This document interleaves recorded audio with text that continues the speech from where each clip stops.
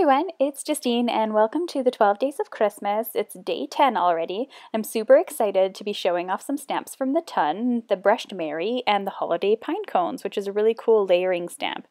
Now throughout my series, I really wanted to give a shout out to all of the people who gave me a chance to guest design for them during 2016, and I was really hoping to feature each one of those companies during the 12 days.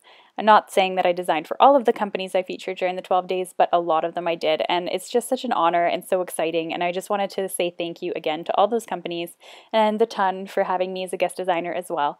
So I'm hoping I can pay it forward a little bit for all their kindness and feature their products in my videos because I absolutely love them so much. So I'm taking the Brushed Merry stamp again from the ton and I am going to be adding some Versamark ink and because this is the first time I'm inking up this stamp I really want to be thorough with the Versamark so I did maybe put a little bit excessive amount of ink on it but I want to just make sure it works out perfectly because I'm not stamping with my MISTI for the card. I think it's important to show a variety of tools that are useful for everyone. Um, for those of you who don't have one and maybe feel like I use it too often I like to bring out my old stamp press now and again. And I'm going to stamp this Merry here onto my card. And you can see it in the light because I have a really bright lamp above me, which sometimes gives off an awful glare, but at least you can see the Versamark when I'm stamping it.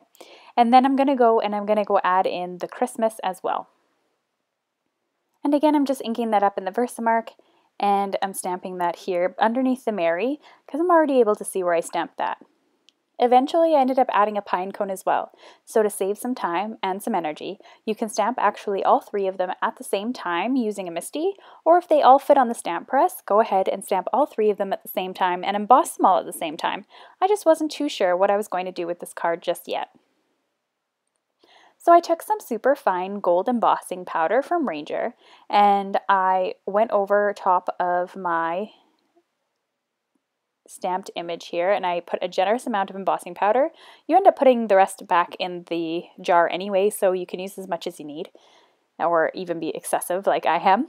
And I'm just going to pick it up with my tweezers and I'm going to flick the back of it. I like to use my tweezers for these because your fingerprints will make embossing powder actually stick to them as well. So I try not to put my fingerprints on there too often. And my favorite part about melting gold and silver embossing powder is just how amazing everything looks. And so I'm just going to speed you up here uh, while I'm doing it, but you'll be able to see everything start to turn.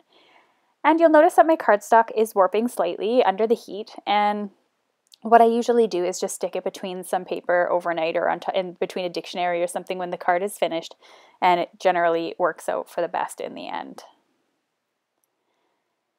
Now you can see the embossing powder melting, it changes color, it becomes really, really shiny, and it's such a beautiful process. This is where I also decided to add the holiday pine cone. I decided to add this embellishment and I thought the card just needed a little extra image here. So I grabbed the middle image because this is actually a layering stamp. So you have three different layers to make it how it looks when you stamp it in colors.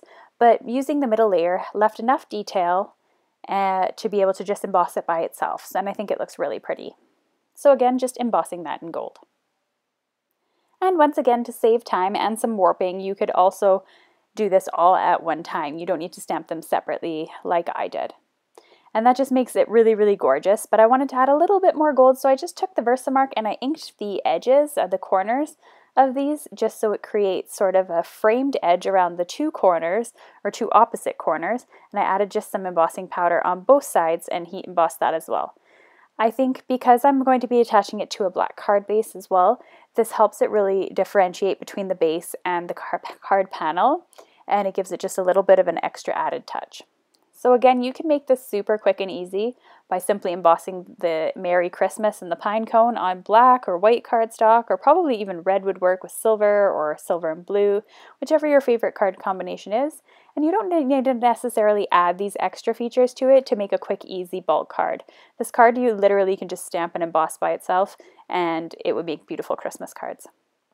So I'm taking my panel and I'm attaching it to a nice sturdy card base. This is going to help with the warping as well.